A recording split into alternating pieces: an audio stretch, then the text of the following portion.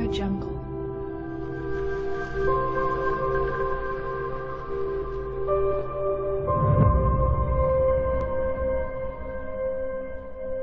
Audio Jungle.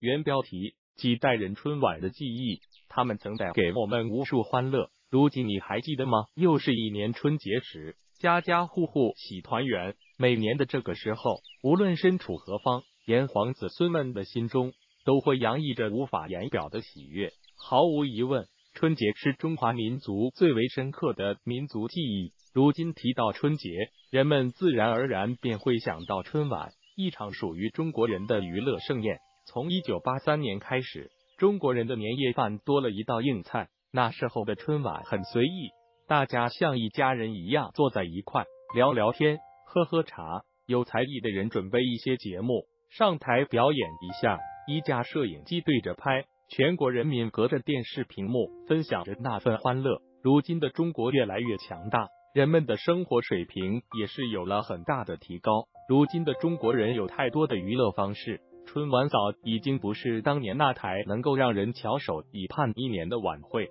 但是对于春晚，中国人仍然有着无法割舍的情愫，哪怕是只为了年夜饭时有一个背景音乐。因为春晚曾经给我们带来了无数的欢乐，因为春晚曾经创造了一个又一个流行词，更因为我们忘不了曾经给我们带来欢笑的他们。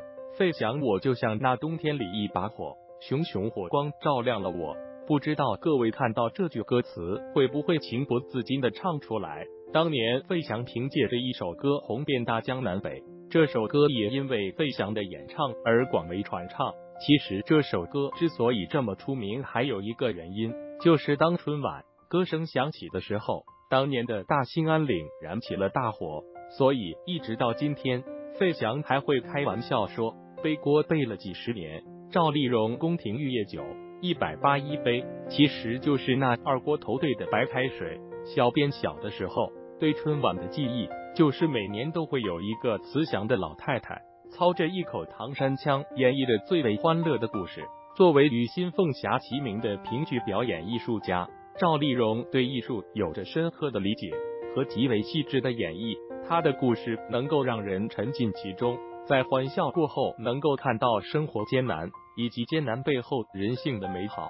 遗憾的是，二零零零年的时候，赵丽蓉因病逝世，从此春晚的舞台仿佛少了一些原本该有的味道。赵本山要说，以前的春晚，人们最期待的是谁非本山大叔莫属。当年本山大叔在舞台上尽情的忽悠范厨师，再加上高秀敏的助攻，范厨师的腿都被忽悠瘸了。